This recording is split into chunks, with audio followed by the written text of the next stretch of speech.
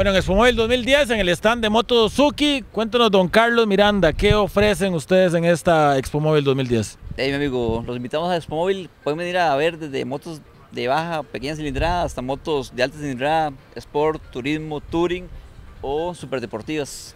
En una feria de autos nuevos, eh, las motocicletas están ganando mucho protagonismo. ¿Por qué la gente que viene a ver carros tiene que salir en una moto?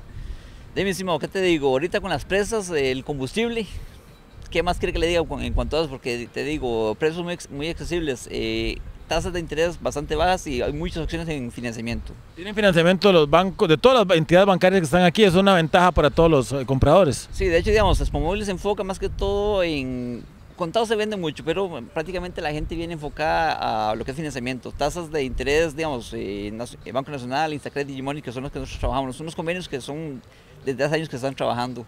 Entonces, en lo que es Spomóvil se trata de facilitar un poco más en sí el trámite. Un producto de mucha calidad como Suzuki, que tiene pues ya mucha tradición en el mercado costarricense. Eh, prácticamente, ¿qué se puede decir? Eh, una marca japonesa respaldada de cualquier cantidad de años en Costa Rica. Vemos motos deportivas, pero también vemos las motos pequeñitas de trabajo, las tradicionales mensajeras, las panaderas, que es un mercado que ha ido creciendo mucho, un mercado de trabajo. Bueno, lógicamente, al ver un mercado amplio de motos, salen a reducir las motos económicas. Las motos económicas como la X100, la GN, dos de las motos de más venta en todo el país.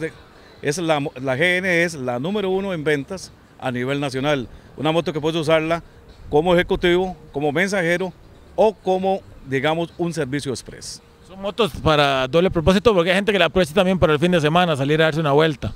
Inclusive en las zonas rurales las ves inclusive con llantas para doble propósito, donde vas al supermercado, te llevas tu diario atrás de la moto y no tenés ningún solo problema en la economía que ella tiene, una moto que te hace en promedio 135 kilómetros por galón.